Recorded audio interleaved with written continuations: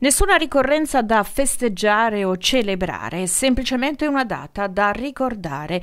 Nessun ebreo ha più nostalgia di un ghetto. Lo ha detto in apertura del concerto al Teatro La Fenice a Venezia, evento inaugurale del calendario ufficiale dei 500 anni del ghetto, Renzo Gattegna, presidente delle 21 comunità ebraiche italiane. Alla cerimonia La Fenice ha presenziato anche Laura Boldrini, presidente della Camera, che nel pomeriggio aveva visitato il Museo ebraico e le tre sinagoghe veneziane. Perché vedete che la minaccia terroristica è una minaccia globale, eh, colpisce chiunque. Abbiamo visto in pochi giorni quello che è successo alla minoranza cristiana in Pakistan, ma abbiamo visto anche il campo di calcio in Iraq, abbiamo visto Bruxelles, quindi la minaccia è una minaccia che ci tocca tutti e noi dobbiamo collaborare di più. Per quanto riguarda l'Europa ritengo che noi dobbiamo avere più Europa, dobbiamo riuscire a avere un, una collaborazione su più livelli, quello di polizia, quello giudiziario, quello di intelligence. Questo è il momento forse di costruirla veramente questa Europa, di fare un salto e arrivare agli Stati Uniti d'Europa.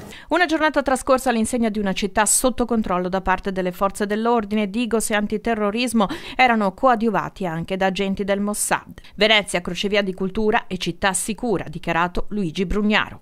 Ma necessaria sicuramente, la sicurezza è fondamentale perché ci sia la libertà e si possa appunto parlare di integrazione, per cui senza regole non c'è integrazione. Credo che questa sia città, una delle città più sicure al mondo, per cui continueremo con grande umiltà a fare il nostro lavoro, tutti fanno il loro lavoro, io faccio il sindaco e il questore fa il questore il prefetto fa il prefetto, però mi sembra che tutti lo facciano bene, per cui poi per quanto mi riguarda lo diranno un domani i cittadini. L'orchestra del Teatro La Fenice si è esibita nella prima sinfonia di Gustav Mahler, compositore viennese di origine ebraica.